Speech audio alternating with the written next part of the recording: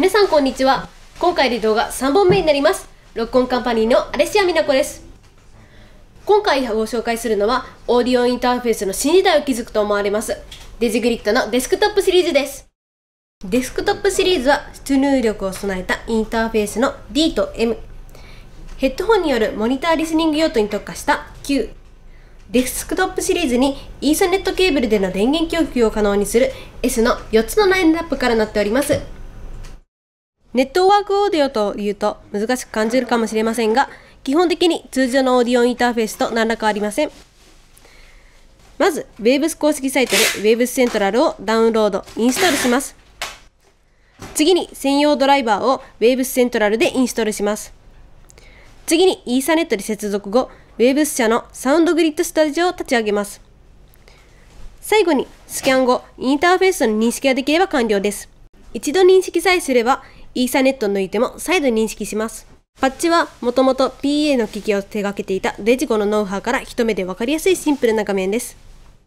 では簡単にデジグリッド製品のパッチングについてご紹介いたします。まずインプットのルーティングですが、見ての通り D1 から From to でこちらの Mac Pro の Core Audio にインプットします。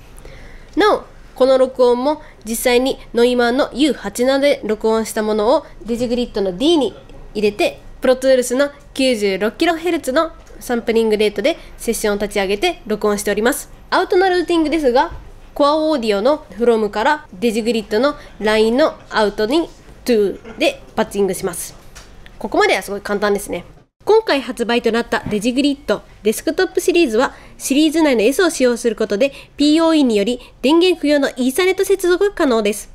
例えばコントロールルームの前に D、レコーディングブースに M を設置し、それぞれ S からイーサネット1本につなぐだけで、簡単かつ高品質なレコーディングシステムができます。さらに、アーティスト用の視聴用に Q を置くのもいいですね。もちろん、デジグリッドシリーズは1つのインターフェースを複数台の PC で認識が可能。Mac、Windows 問わず、さらに Cubase や Pro Tools といった異なるホスト間でも接続可能。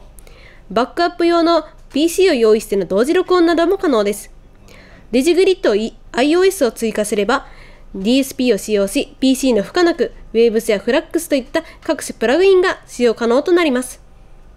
欲を言えばデスクトップシリーズと同じサイズ感で気軽に拡張できる DSP モジュールなどが出てくるとさらにユーザーに合わせたカスタマイズが可能となりますね。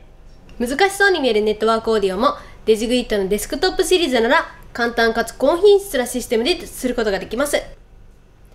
渋谷店ではこちらのデスクトップシリーズ4機種の展示に含め既存機種である IOS なども展示しております。ぜひとも渋谷店に来店してこちらのデスクトップシリーズの良さをご体感ください。ご紹介は ROCK ON のアレシア美奈子が提供いたしました。